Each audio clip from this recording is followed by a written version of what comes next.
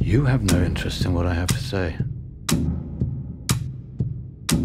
Unless it confirms what you think you already know. My job was simple. Save the country I love from being destroyed. Is your job any different?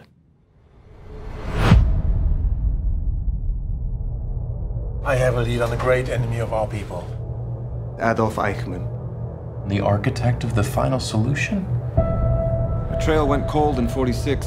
Latest intelligence suggests Buenos Aires.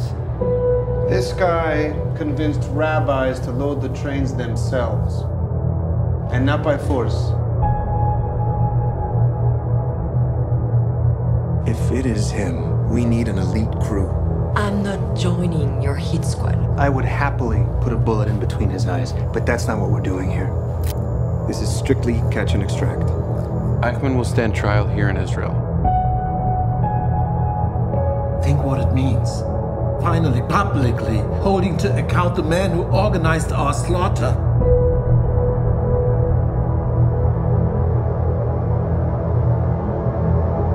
Our memory reaches back through recorded history. The book of memory still lies open. And you, here now, are the hand that holds the pen.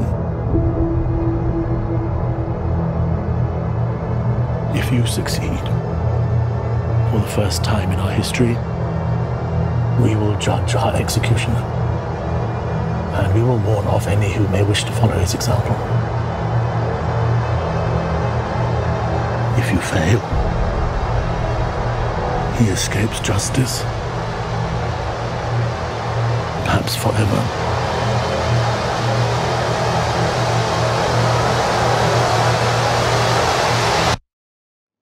I beg you, do not fail.